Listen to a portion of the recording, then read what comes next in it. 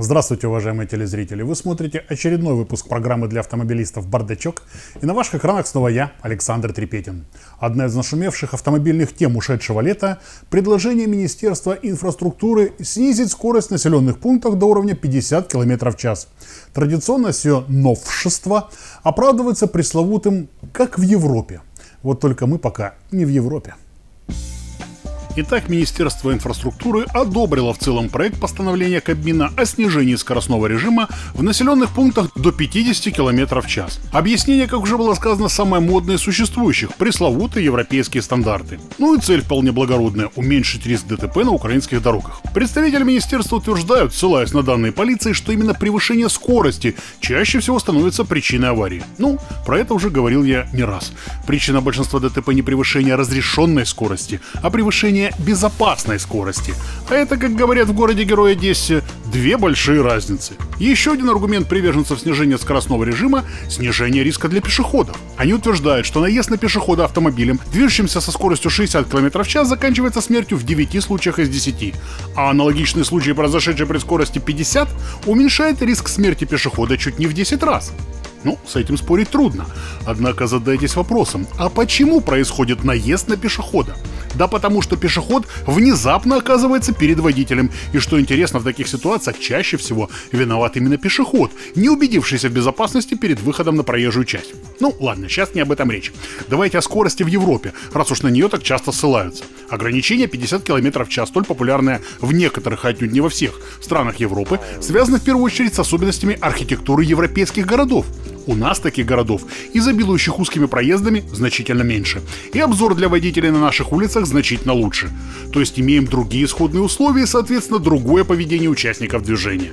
Кстати, о поведении – как показывает практика последних лет, любые ограничения скорости без соответствующего контроля не более чем фикция.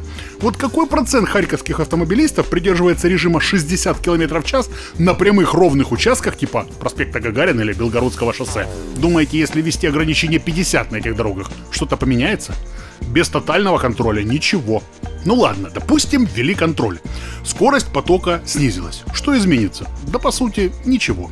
Пешеходы станут чаще внезапно для водителей выходить на дорогу, дескать, затормозит, успеет, он же медленно едет. Со второстепенной будут машины чаще выскакивать, надеясь проскочить. Скорость-то потока низкая. Ну и так далее. Вывод. Ну, тут позволю процитировать себе Джимми Кларксона.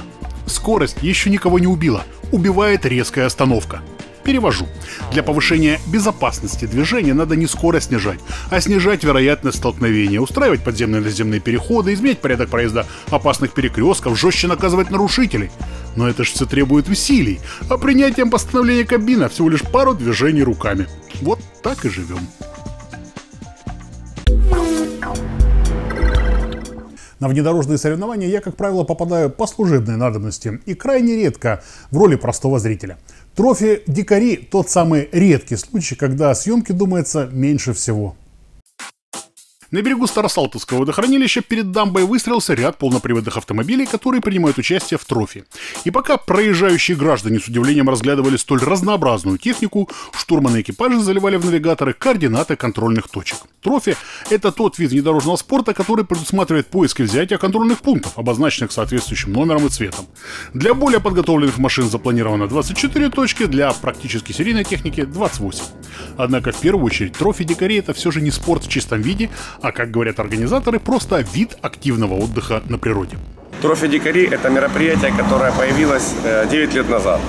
Оно было создано для того, чтобы люди, выехав на природу, э, увидели всю ее красоту, э, и параллельно те, кто обладает тягой к бездорожью, кого тянет загнать свой джип подальше в грязь, выкарабкиваться, чтобы они, наслаждаясь природой, могли одновременно получить удовольствие от бездорожья.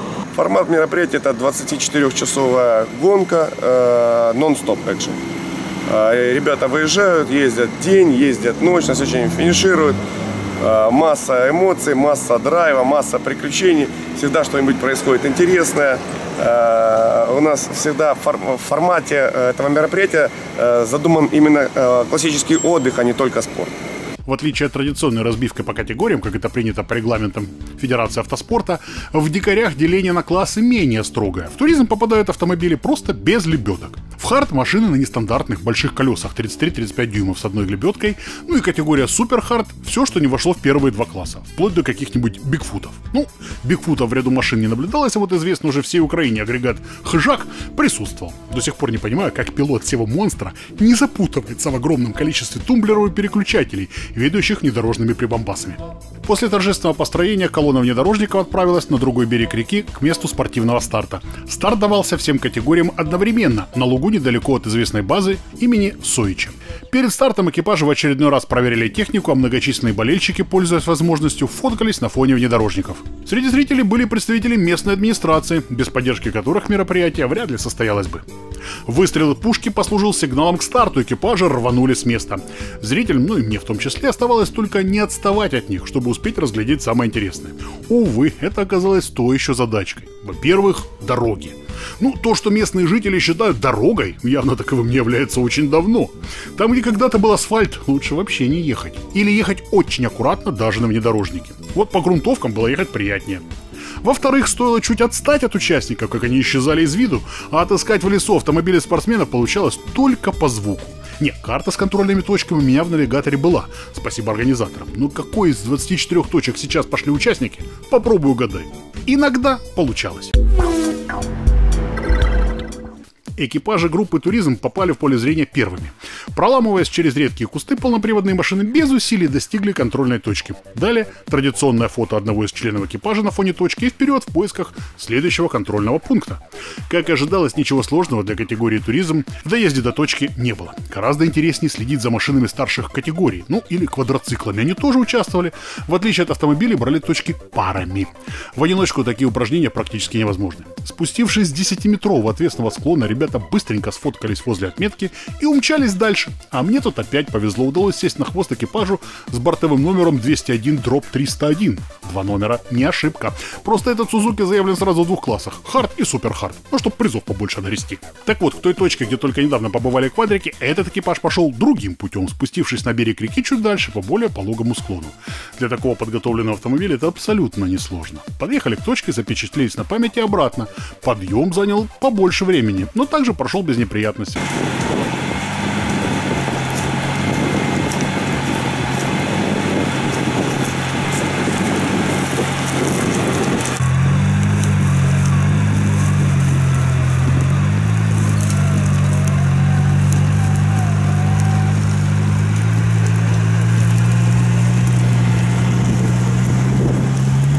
А дальше в болото. После непродолжительных поисков была обнаружена контрольная точка, отмеченная краской на поваленном бревне. Судя по следам, здесь уже кто-то побывал, ну а сухая погода последних дней сделала подъезд к хардовой точке, ну, совсем простым. Две минуты на фотосессию и снова в путь. Следующая точка абсолютно несложная. Под мостом через ручей. Дольше фотографировались, чем до нее добирались. Ну а затем усилия пришлось прикладывать уже зрителям. Чтобы добраться до следующего контрольного пункта, нужно было проехать всего 4 километра. Но каких 4 километра? Для обычно неподготовленной техники эта дорога очень серьезное испытание.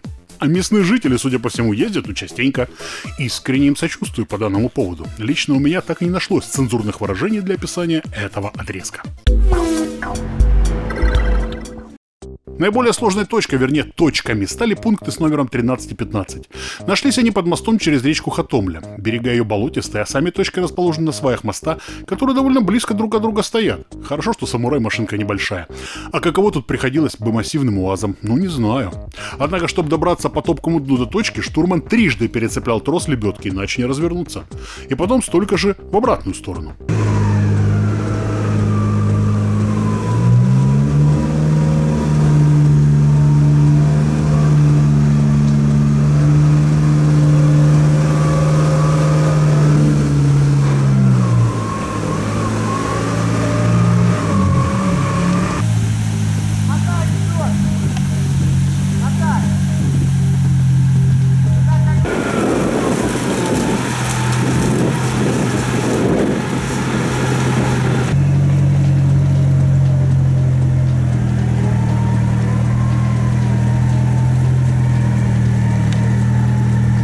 Выбравшись на твердый грунт, экипаж еще минут 20 вынужден был очищать машину от собранного урожая. Трава, намотавшись на карданы мосты, жуткая штука. Если ее не снять, то она высохнет и от контакта с разогретым глушителем может загореться. Ну или просто повредить тормозные магистрали. Были случаи уже. Пока ребята занимались машиной, я решил двинуться в поисках других участников. И это была главная ошибка. Немного поблукав по лесу, никого не найдя, связался с организаторами и выяснилось, что пока мы прохлаждались, самое интересное уже закончилось. Дальше участников трофи ждали ночные приключения. Ну а мне пришлось на этом поставить точку в развлечениях выходного дня. Надо признать, не жалею. Отлично провел время.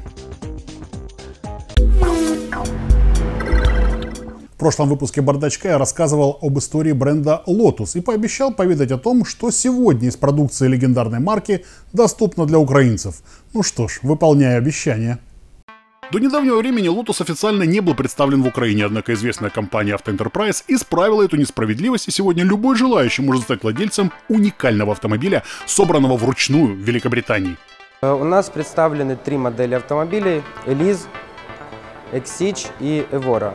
Elise автомобили, ну он такой больше трековый, поскольку это механическая коробка передач шестиступенчатая, у него вес 914 килограмм.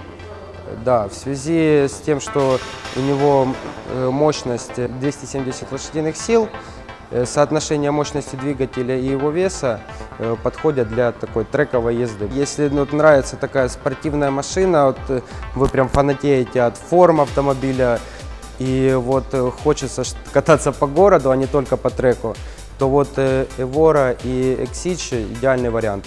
Elise во всей современной линейке Lotus это наиболее спортивная модель. Высокая удельная мощность, низкий клиренс, жесткая подвеска и механическая коробка делают машину идеальной для гонок, разумеется, на специальных трассах. Нет, никаких юридических препятствий для использования Elise на обычных дорогах нет, но в Украине-то и дорог нет.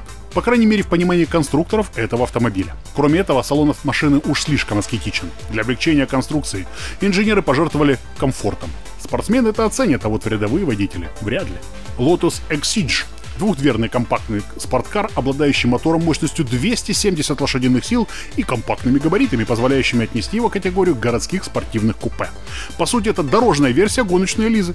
Модель выполнена в классических традициях компании Lotus. Она оснащена эргономичной единой передней панелью с монитором, оптимизированной системой регулировки спинки кресел, а также фирменной системой контроля траектории LTC. Трансмиссия – шестиступенчатый автомат. Вершину модельной линейки Lotus занимает сегодня роскошное купе Evora. Легкий кузов в сочетании с мощным мотором позволяет разогнаться до 271 км в час. Автомобиль оснащен всеми положенными по статусу атрибутами комфорта и безопасности. Есть разные версии обустройства салона, например, это двухместное купе с небольшим отсеком за спинками сидений, а есть еще версия 2 плюс 2 со вторым рядом кресел. Подвеска машины обеспечивает хороший уровень комфорта как для спортивного авто, но управляемость Lotus а – это уже легенда. Люди люди, у которых уже все есть, которые там коллекционируют машины, которые этим увлекаются и хотят что-то новое, э, особенное что-то, то вот эти автомобили идеальный вариант, поскольку ручная сборка, каждая машина особенная. Ручная сборка – это не преувеличение. Каждый автомобиль собирается индивидуально и тщательно тестируется на гоночном треке. После того, как машина попадает к заказчику, она все равно остается под присмотром компании Lotus. Владелец может получить любую консультацию по особенностям эксплуатации автомобиля. Возможно также изменение характера машины путем установки заводских тюнинг-комплектов. Кстати, все работы по гарантийному и после гарантийному обслуживанию автомобилей Lotus в Украине проводят специалисты компании Auto Enterprise. Заинтересовались? Обращайтесь в салон официального дилера Lotus в Украине Терца Магеллан на окружной дороге. Вот и все на сегодня. Очередной выпуск «Бардачка» подошел к концу, и мы расстаемся, как обычно, на неделю. Не забудьте включить ваш телевизор на наш канал в это же время. Ну а пока я, Александр Трепетин, прощаюсь с вами. Всего вам доброго и гвоздя вам не жезла.